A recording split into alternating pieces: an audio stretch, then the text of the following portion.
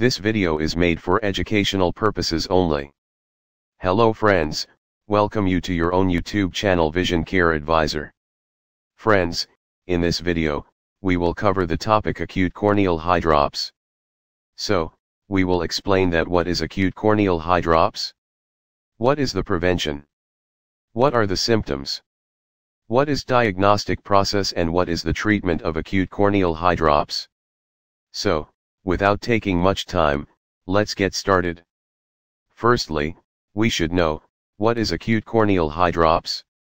So, friends, acute corneal hydrops, ACH, is an uncommon complication of corneal ectatic disorders, involves sudden onset corneal edema due to a rupture of corneal descemet membrane, DM, that can cause impaired vision and eye pain. In patients with keratoconus, the incidence of acute corneal hydrops is reported to be between 0.2% and 2.8%. It also occurs rarely in keratoglobus and pellucid marginal degeneration. Acute corneal hydrops presents most commonly between 20 to 40 years of age. Males have more almost double the risk of acute corneal hydrops in comparison with females. So, Let's know how acute hydrops occurs. Friends, acute corneal hydrops occurs in the most advanced cases of keratoconus. It occurs due to break in the corneal descemet's membrane, and then aqueous humor enters into the corneal stroma.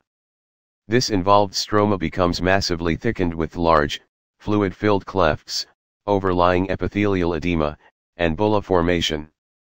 In rare cases, a fistulous tract may develop through the cornea, with resultant leakage of aqueous from the anterior chamber through the fluid-filled stroma and epithelium onto the corneal surface. Now, let's know, how to prevent from acute corneal hydrops. The corneal edema gradually resolves over weeks to months as endothelial cells adjacent to the rupture in the descemet's membrane enlargement and migrate across the defect, laying down new descemet's membrane. Some corneas with acute hydrops tend to develop stromal neovascularization that increases the potential risk of graft rejection if corneal transplantation ultimately becomes necessary. Effective preventive measures have not been specified for ACH, acute corneal hydrops, but it is possible to controlling the progression of any underlying corneal ectatic disorders can lower the risk. Minimizing risk factors such as eye rubbing and limiting exposure to allergens in atopic disease may be helpful. Now come to know, what are the symptoms of acute corneal hydrops? Patients with acute corneal hydrops present with sudden onset decreased vision, photosensitivity, and pain. IOP may be artificially low in the setting of corneal edema. Acute hydrops is more common in patients with Down syndrome and vernal keratoconjunctivitis, presumably related to the repeated trauma of eye rubbing in these patients. Now, let's know, how to diagnose acute corneal hydrops. During the slit lamp examination of the anterior segment, the degree and extent of corneal edema should be assessed. Corneal edema may limit the view of the posterior cornea, anterior chamber, iris, and lens. Seidel testing should be performed and a positive test may indicate transudation of aqueous humor through the corneal stroma rather than corneal perforation.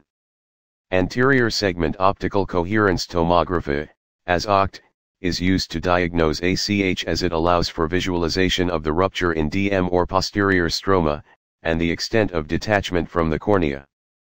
Ultrasound biomicroscopy, UBM, is another useful modality for qualitative and quantitative evaluation of corneal hydrops. Finally, come to know, what is the treatment of choice for the acute corneal hydrops? Friends, this video is only for educational purposes, and the content is based on Wills Eye 8th edition. Now come to the topic, of treatment part of acute corneal hydrops. Cycloplegic agents such as cyclopentolate 1%, may be beneficial for relief of pain if there is an associated anterior chamber reaction. Most cases of acute hydrops resolve spontaneously, requiring supportive treatment with topical hyperosmotic agents such as 5% sodium chloride drops or ointment to promote corneal deturgescence. Corneal deturgescence is part of a process in which the water content of the cornea is controlled by a dynamic process of pumping and leaking. Some patients with acute hydrops complain of severe photophobia and benefit from the use of topical steroids or cycloplegic agents. Topical steroids should be instituted in patients with signs of corneal neovascularization. Studies have reported quicker resolution of acute hydrops with injection of air or non-expansile concentrations of sulfur hexafluoride, SF6, perfluoropropane, C3F8, gas into the anterior chamber to promote closure of the rupture in Descemet's membrane. Once the hydrops has resolved, the resultant scarring tends to result in corneal flattening. The patient can then try to resume contact lens wear if the central cornea has not become excessively scarred. Otherwise, the only alternative is a corneal transplant. Thanks for watching, stay tuned for more updates. Please do remember to get check your vision yearly and see the world clearly.